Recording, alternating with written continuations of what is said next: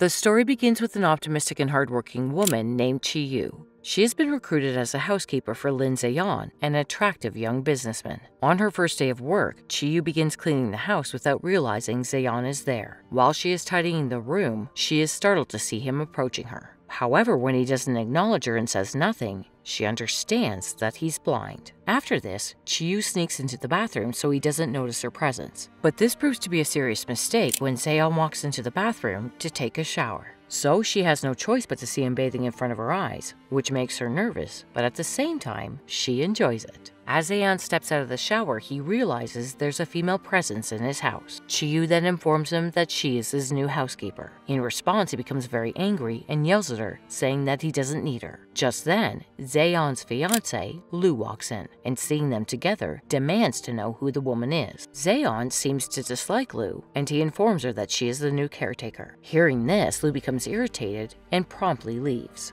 After this, Zayon informs Chiyu that he will pay her generously for her services, but she must fulfill three conditions. The first condition is that she follows his orders without question. The second condition is that she must be available to him 24 hours a day, 7 days a week. The third condition is that she must pretend to be his girlfriend if necessary. Chi Yu doesn't have any issues with the conditions and she needs the money to pay off her debts, so she accepts. As she settles into the job, she finds Zeyan to be a very demanding guy who scolds her for everything and even rudely tells her to stay away from him because she stinks. This irritates Chi Yu and she remains patient because she needs the money. When she brings him coffee, Zayan scolds her for using instant coffee instead of the machine. She then looks into his eyes for the first time and is captivated by his beauty. But she snaps out of it and realizes he's scolding her and becomes upset. When Zayan stops eating properly, Chiyu calls his secretary to find out what he likes. After this, she cooks him different meals, hoping that he will finally enjoy it, but the jerk complains every time.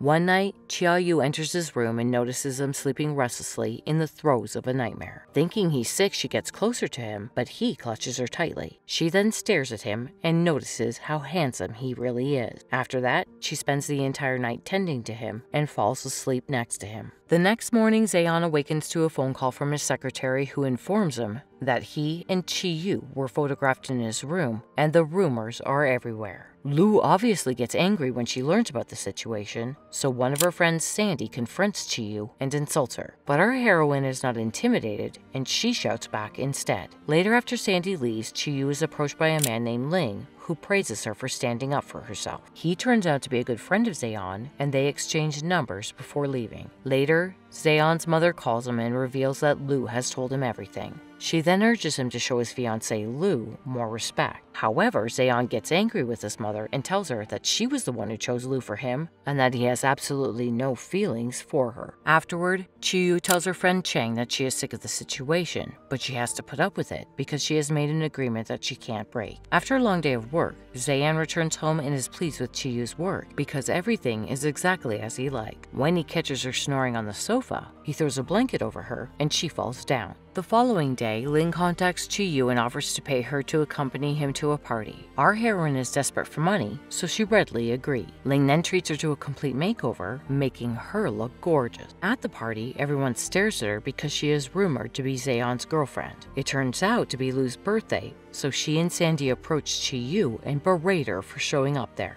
When Chiyu insults them back, a guy tries to hit her, but her friend Cheng arrives just in time to stop him. Soon after, Zayon finds out about this and scolds Ling for bringing Chiyu to the party and causing a scene. Later that evening, the lights are turned off and Chiyu can't see anything. As she feels around for the switch, she accidentally touches Zayon's abs. When the lights turn on, she realizes she's touched him and feels embarrassed. Later, Chiyu invites Zayon to go out to dinner because his secretary told her that since he lost his sight, he hasn't set foot in an unfamiliar place. She then brings him to her favorite restaurant. Initially, he acts like a baby and complains about everything, but he begins to enjoy the food and the company. Later on the way home, they are suddenly attacked by thugs. Unfortunately, during the tussle, Chiyu is stabbed in the arm and loses consciousness. At the hospital, a concerned Zayan stays with her and takes great care of her. Seeing him so worried, Ling realizes Zayan is in love, so he gives him advice on how to impress Chiyu. Following the advice, our hero tries to seduce her every chance he gets, and although Chiyu tries to ignore it, she feels butterflies whenever he gets close to her.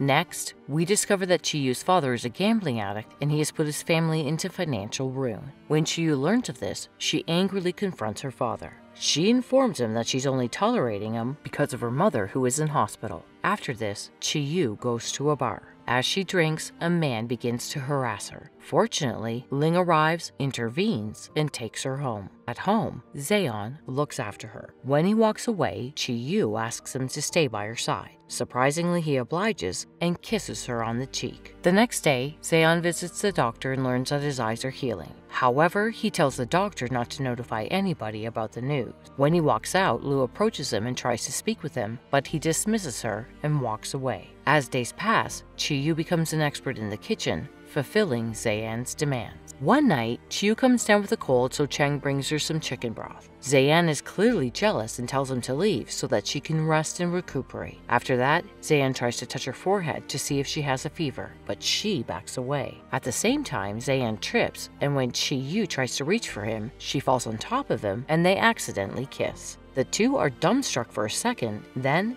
they start kissing passionately. The following morning, Zayan also comes down with a cold, and now Chi Yu has to take care of him. Later, his mother visits him in the hospital and asks about his plans for his marriage to Lu. In response, Zayan coldly tells her that he will not marry someone he does not love. Zayan indirectly commits himself to Chi Yu and asks her to be patient until his eyesight has fully returned. At that moment, a nurse enters with the needle, causing him to panic, and when Chiyu sees this, she begins to laugh. Afterward, Lu tries to insult Chiyu by telling her that she is nothing more than a housekeeper with no future. When Zayan finds out about this, he calls Lu and warns her to leave Chiyu alone or she'll face the consequences. In the next scene, Chiyu's father finds her again and asks for money. She submissively gives him everything she has, but he demands more. When things get intense, Zayan interjects and gives the old man his card. When they arrive home, Chiyu scolds Zeyan for handing over his card, since her father is a money-sucking lost cause. However, our hero gets upset because he didn't even know that she had a father. He accuses her of hiding things, and this causes a heated argument between them.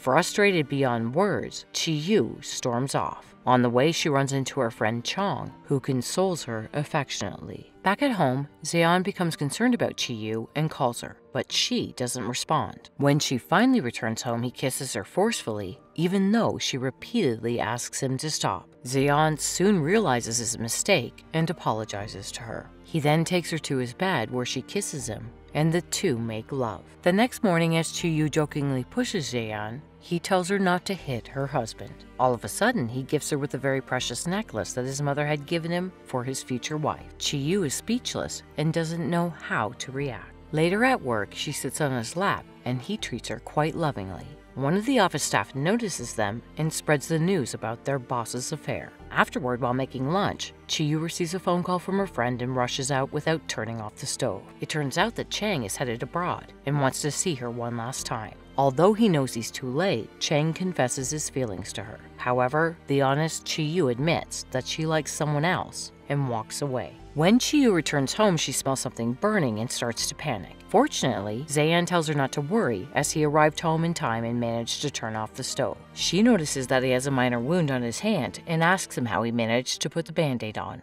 In response, Zayan reveals that he has recovered 40% of his vision, making her happy. The following day, Chiyu is summoned to the hospital by Zayan's doctor. He gives her the good news that Zayan will soon completely regain his eyesight. Chiyu is thrilled to hear this, but at the same time, she is confused why the doctor didn't call Zayan. Just then, Lu arrives on the scene. It turns out that she was behind this whole scheme. She tells Chiyu that she will fix Zayan's eyes and pay for her mother's treatment. However, she has a condition. Chiyu must stay away from Zayan. Our heroine thinks about it for a while and accepts a deal for the sake of Zayan and her mother. The next day, Zayan gets ready for surgery and tells Chiyu that he wants to marry her and can't actually wait to see her when he does. Afterward, Chiyu cries her heart out and writes a letter for him. She puts the necklace with it and leaves the house. Later, after the successful surgery, Zayan removes his blindfold, but he cannot see Chi Yu anywhere. He then panics and leaves the hospital despite just having had surgery. When he gets home, he finds a letter telling him not to wait for her because she has gone abroad. In the following days, Zayan hires a private investigator to track down Chi Yu, but she appears to have vanished off the face of the earth. Lu believes that this is the ideal opportunity to win Zayan over, but he still rejects her. Five years have passed, but Zayan still can't forget Chi Yu and hopes to see her again one day. Fortunately, his wish is granted when Chi Yu returns to attend a friend's wedding. Soon after, Zayan finds her and is surprised to see that she now has a son.